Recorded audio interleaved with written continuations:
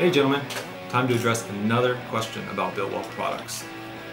Our Slimline and our Solo seats. The Biltwell Solo seat is the wider and flatter of our two chopper seats for custom motorcycles. Its shape and size look best on big, rigid shovels, knuckles, and panheads, in our opinion.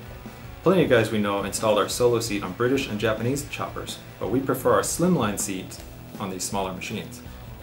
In our eye, the Slimline seat's higher rear kick flows really well on bikes with steep backbones and tight rear fenders. Machines like Mike D's Rigid Evo Sporty. Our Solo seat features standard welded carriage bolts for mounting the hinge and springs. The distance between the spring bolts is 6 and 3 quarters inches or 171 millimeters. If you're installing our solo seat on a chopper with spring bungs already welded to the frame, make sure these bung centers are the same as the bolts on our solo seat. If they aren't, you'll need to move the bungs so your seat springs are both vertical and parallel.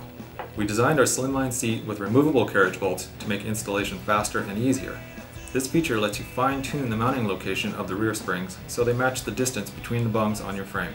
Don't install a spring-mounted solo seat on a Harley Softail or any bike with a swing arm. It looks a little strange in our opinion. Of course, practically any seat hinge will fit our solo and slimline seats, but we're partial to two models in our line.